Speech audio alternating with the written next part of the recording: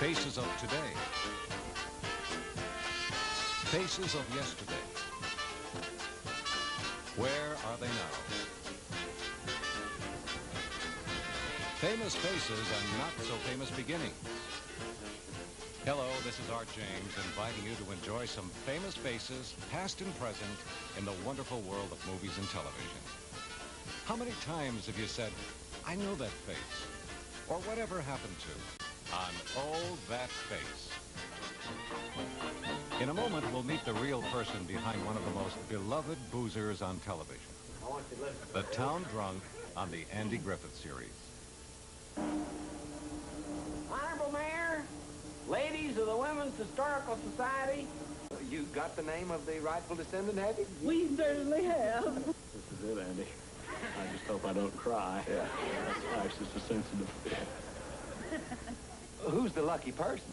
The name of the rightful descendant of Nathan Tibbs is, um, Otis Campbell. Otis Campbell. Better than I tell you. Otis Campbell? Spread your arms out. Close your eyes. And bring your hands together and touch your fingertips. Got that? Trying to see them.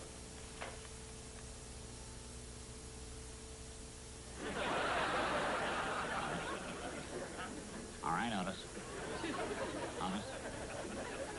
I go honest. Oh, pardon, pardon me. I, I can only say, I may be wrong, but I'm not far from it. You do a lot of uh, commercials, Hal. How many commercials would you say you did last year? Radio and TV? Mhm. Last year, probably 100 and, 110, maybe 100, maybe more. And a lot of character voices. Yes, oh yes. I love the character voices. That's part of being an actor, you know. What are some of the more well-known voices that you do? Well, I started out doing uh, Barney on the Flintstones. You know, you know the character Barney. Hiya, Fred. and uh, I used to kid around with him a lot, you know. And then I, once in a while I'd do Fred uh, when uh, Dino, the little uh, dinosaur, would come in and say, Dino, leave me alone, Dino! Yabba dabba doo! Well, ma! And, you know, kidding around with those things. But I started out doing Barney. Well, I'm looking forward to hearing some of those, to seeing you at work and Oh, well. hearing some of these voices. Could we do that now? I think it would be just great. Yeah. We got a microphone around here someplace? Oh. Uh, when you're ready for the goofy character, Hark, uh, just give me a cue, okay?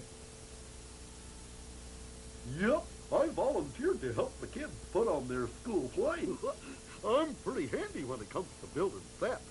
Oh, so I'm going to the auditorium to see if the paint's dry. then I'm going to run around the track and hit a few tennis balls. Gotta keep them shaking up. Gosh. And Hark, here's a pickup uh, from the owl uh, voice on Winnie the Pooh, okay? Cost is what you give up, Pooh. Suppose you wanted to buy Christopher Robin's balloon for 14 gorseberries.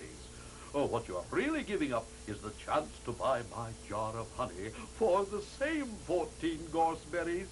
You are choosing between the two uses of your money. And maybe we can get one more here. Eeyore. Pick up Eeyore. Of course. I'll work as a laborer. I don't mind. Laborers aren't specialists, so they don't earn as much. But it's all right. I understand. I'm used to it. Cut. Did we get it? Yes, we got it, and we love it. Thank you, Hal Smith. Oh, that face.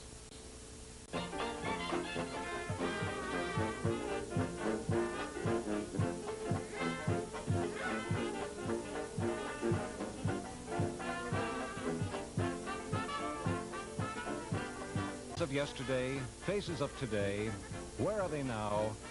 Famous faces and not so famous beginnings, and of course, hilarious outtakes and bloopers on Oh, That Face.